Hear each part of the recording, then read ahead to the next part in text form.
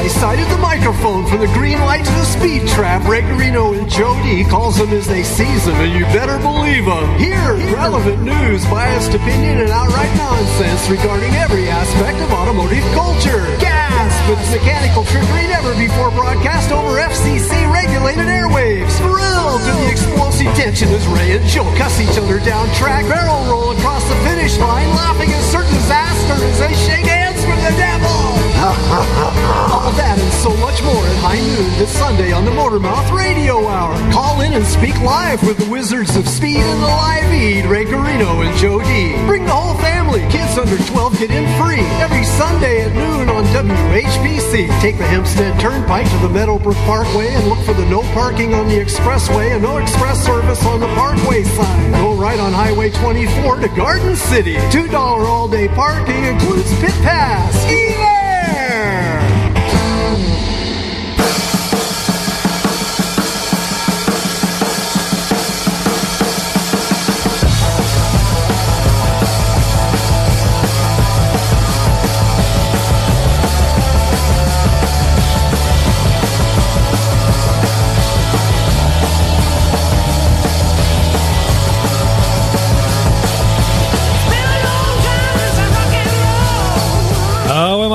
Time since you rock and rolled, but it's high time for Motormouth Radio, Long Island's only automotive radio talk show with your hosts, Ray Guarino, his co-host Wingman, and exo confidant Joe D. Yeah.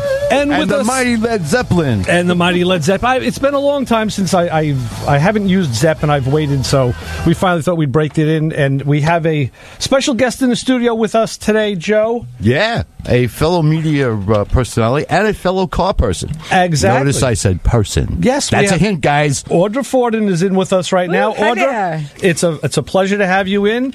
We've kind of heard about you in our circles for a while, and now uh, it, things aligned, the planets aligned, and you, things dropped in, and, and here you are. So it's a pleasure to have you. Thanks so much for having me. That's Yeah. so cool. Oh, Yeah, we- absolutely. Yeah, we, we, we- I like Zeppelin too. Yes, definitely. I I think don't you'll find like. too much symphonic uh, classical music playing in most shops. So yeah, if you Yeah, grew no. up around cars, you know it's mostly rock and roll. Yeah, definitely.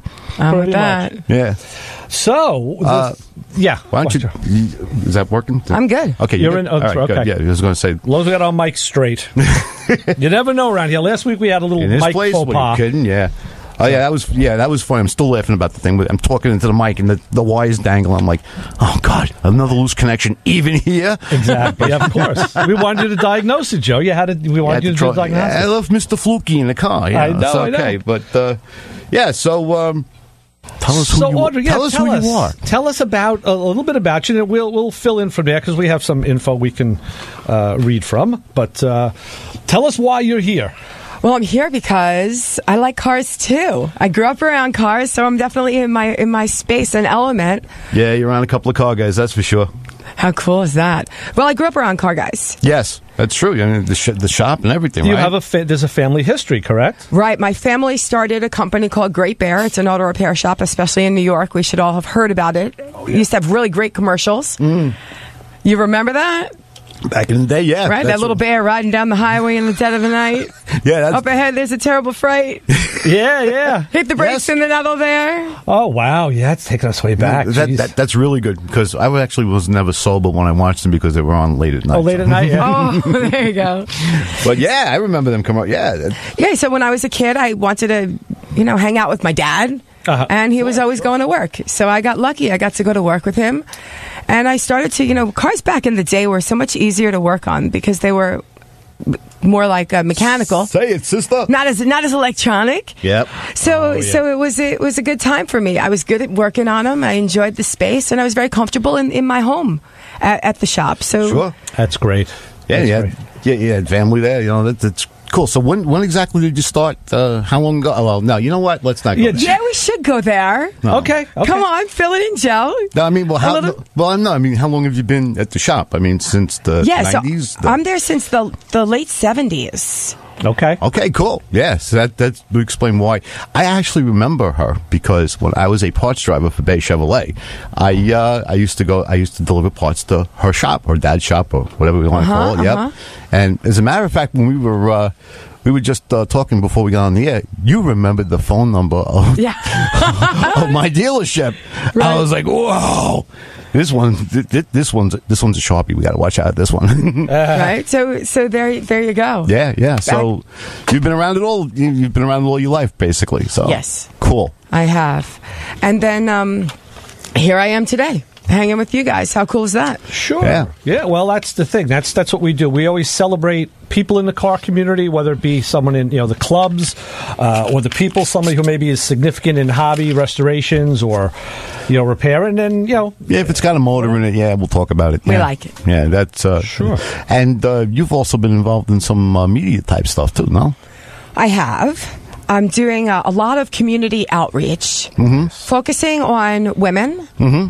and really all drivers because back in the day when cars were easy to work on, a lot of people knew how to work on them, and our brothers and cousins and uncles and everybody Right. knew about a car. Right, right. But today we're kind of um, phasing that out. We, we rely on oh, Google yeah. Yes. a little bit Oh. too much. yeah. YouTube certified mechanics. We're also yeah. we're also going to rely the flashy thing. on this flashy thing, which means we have a call, and we'll go to it and say, "Hi, you're on with the Motor Mouths." Hello. Hello, Cola, you're on with the Motor Mouths. Hello, gentlemen. How you doing? Hey, morning? Christian, how are you? Christian, what's up? Nothing much. You just got me thinking. Great Bear, Great Bear. I remember there was an auto parts store in uh, Elmont back in the day, mm-hmm. and it was a, it was family owned, and the gentleman's daughter used to run the counter. So impressed with her, and I was only a little kid. And I remember like my father and his friend were working. We were working on a 50 olds with a 303 in it, and they had to get some stuff, and they went in there, and, and she was working. Uh, yeah, we got a you know need points and stuff like that for a 303. And she knew exactly what points, everything. She I mean, she was so knowledgeable, and it was so cool. And I remember as a little kid, I used to like, wow, she's really cool, you know, working behind a counter at an auto parts store. Yeah. Yeah, was that GB500? Oh yeah, GB five hundred, right? I remember that. Right. Well, that was for Great Bear, so it was Great Bear's Okay. parts store. Right, right, right. Okay. So it was a parts store. Mm-hmm. So it couldn't have been you though. Well, there, there's, there was a parts store and the repair shops. And where was it located? Well, there the- were 70, I think 73 stores Holy cow, in New at the height of the franchise. yeah, the Oh, repair I shops gotcha. were everywhere. Sure. Right. It's funny because you got me thinking. You said Great Bear, and all I could think in my head was the old oil company that used to have the the German Shepherd on the roof of the vans. Remember those days? German Shepherd. That sounds Slomin's? vaguely familiar. No, I don't think that You was. remember the oil company for oil burner service, and they used to have like the you know the mascot was like you know you Yeah. said Great Bear. I'm thinking of the dog. You said the dog on the roof of the vans and it would light up, and they would be all over the place. Yeah. I can't remember the name Yeah, of it. Someone oldie. out there will. Yeah, that's an oldie. Um, well, I'm not that old. I used No. to see it when I was a kid. Come on. True, true, Give true, you true. guys, give, give you guys some some credit over here. Yes. you get a lot of credit. yeah. These guys beat themselves up, you know. Come on. um, but um, So- it, really quick, I just I just want to make this quick. One of my friends um, saw an ad for Mobil Oil, and he asked me to call in about this subject real quick, and I'll get off so other people can call and maybe touch on this a little bit. Supposedly, Mobil One's got an advertisement on TV. Um, oil changes going more than ten thousand. I saw the oil in the store the other day, Mobil Uh-huh. One, and it says guaranteed good for one year on the on the jug of oil. Yeah, Oh, okay, good for one year, or how many miles?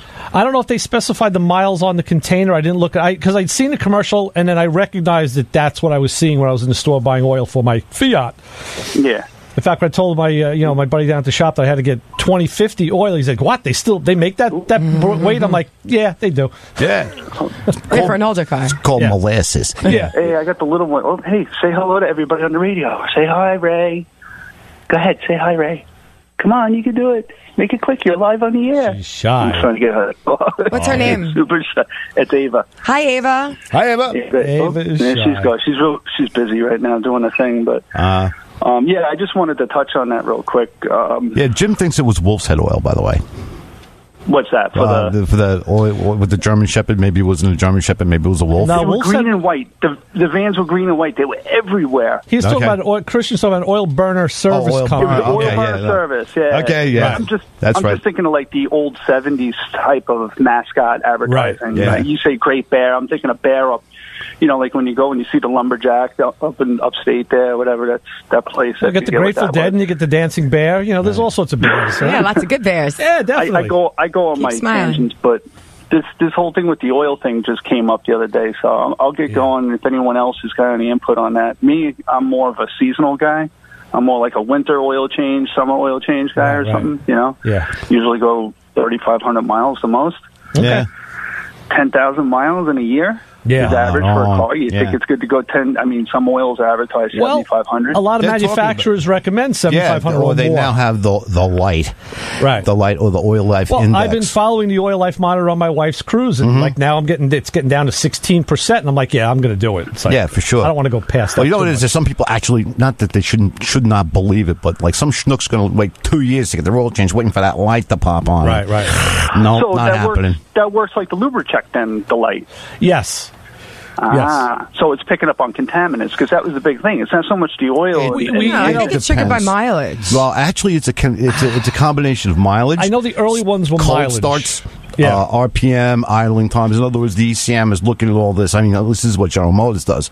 They look at uh, a variety of things that you know. Oh yeah, the fact that you overheated the thing to 300 degrees. Yeah, we're going to move that up a few percent. You know, Right. but it actually uh, it actually calculates the oil life. Yeah, the So you got got, a lot more cars there. advanced as the mm-hmm. cars got newer. for But I would not want to leave my nobody look at my car for a year. my, my dad, my dad had a car on the lift back in the day. It must have had sixty thousand miles on. it, Never had an oil change. I hmm. remember that day. and my dad pulled the drain plug out, and no oil came out. So my dad took. My dad reached up and he unscrewed the antenna off the front fender, and he started sticking the antenna up through the Poking through the oil plug hole, and clumps were coming out, and then the oil started Yeah. coming out. There's like not, there's certain things that are not supposed to have lumps, and oil changes are one, are one of them. Yeah. I just think of you know one year and contaminants. It's just it's crazy. Yeah. Yeah, But, no, it's okay. too much. Yeah. Absolutely. Well, thanks, Christian. Hey, Good point. Always good. All right. and uh, watch out for those guys. There, they they uh, they're animals. You got it. You, you motor mouth guys. You know, How us? I can't even All make right. any growling noises. studio right now. over there. It's up to hitches. Thanks, Christian. We'll talk to you soon, brother. Talk to you Thanks. later. Big All right. man. So long. And like Christian, if you want to get a hold of us, give us a call at 516-572-7440 or follow us. Uh, go to motormouthradio.com. Yeah. On Twitter, we're You can click Motormouth. listen thing there, yeah. Yeah, Twitter is Motormouth Radio, and Instagram, which has been a little lax lately, is real underscore Motormouth Radio. And uh, Underscore. I can't even find that on my phone. that's because someone else, there was another Underscore. Yeah, Motormouth uh, Radio, and Yeah. somebody else We'll wants flash get it in, I again. think, before the break. All right, we'll see if we can do this. We'll say hi, you're on with the Motormouths. Good morning, Ray. Good morning, Joe, and guest. How you doing today? Uh, thanks Hey, for Brian. including me. Hello. Brock, how you doing? Hello. We, we got you on a quick leash here because we're coming up to a break. So speak. Okay, I'm going to go fast anyway. A real fast story. You mentioned Wolf's Head oil. It brought me back when I started working at a gas station. Wolf's Head used to come in a glass bottle with a metal spout. It was recycled oil. Right. And then that's what people would have the option of buying a new can or a bottle of recycled. And I think back then it was about 20 or 25 cents a quart, and you would put it in the car yourself.